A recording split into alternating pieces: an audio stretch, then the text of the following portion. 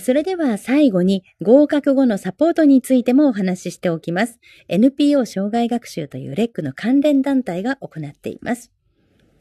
NPO 障害学習はキャリアコンサルタント資格取った後のキャリアコンサルタント自身のキャリア形成に役立つ情報やコンテンツを提供しています。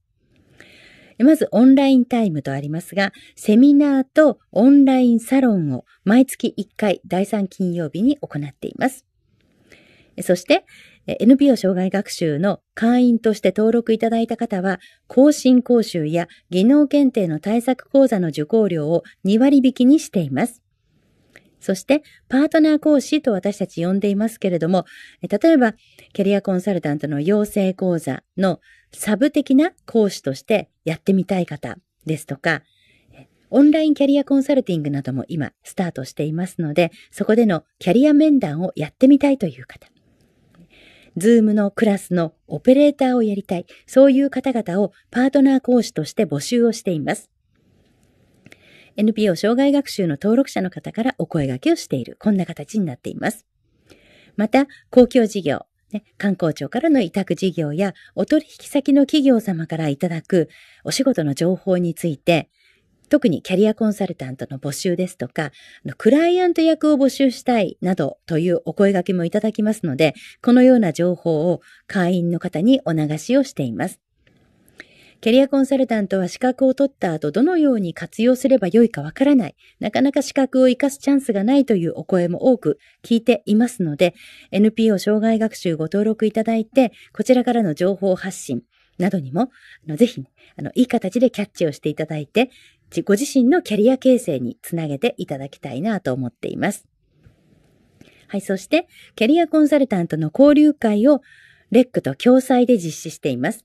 年数回実施しています。今のところ、試験の合格発表に合わせて年3回行っています。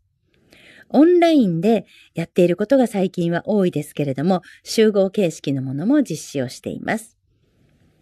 養成講座の修了生や講師の先生方が集まりまして、まあ、情報交換をしたり、ネットワークの構築ですね、横の連絡を取り合っていく、このような機会を提供しているということになります。ま、専門家の先生をお招きしての講演をお聞きしたりとか、オンラインでグループでの懇親会を行う。で、先輩キャリコンの仕事どうやって獲得しましたかであったり、キャリアどう広げているか、このようなお話も聞ける、非常にいい機会となっています。はい、これ左側がオンラインの交流会の様子ですね。実際にはこの画面、1画面ではとても入らない 人数の方で、あの、100名以上です。150名とか、そうした多くの方が集まっていただいての交流会を行っています。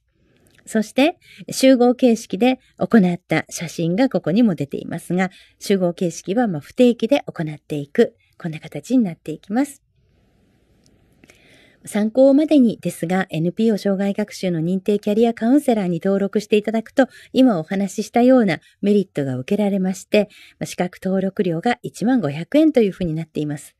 皆さん養成講座を修了されて合格されましたら、ぜひ NPO への登録もお待ちしております。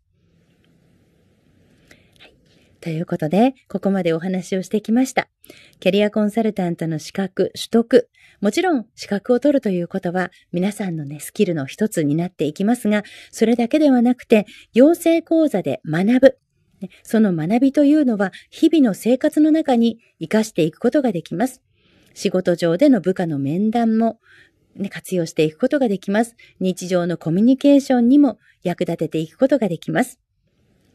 皆さんぜひ学んでいただき、その学びでご自身のキャリアに彩りをつけて活躍をしていただきたいなと思っています。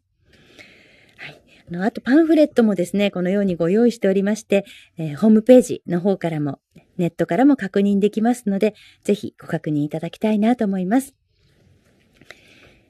えー、皆様がレックキャリアコンサルタント養成講座ご受講いただけることを楽しみにお待ちしております。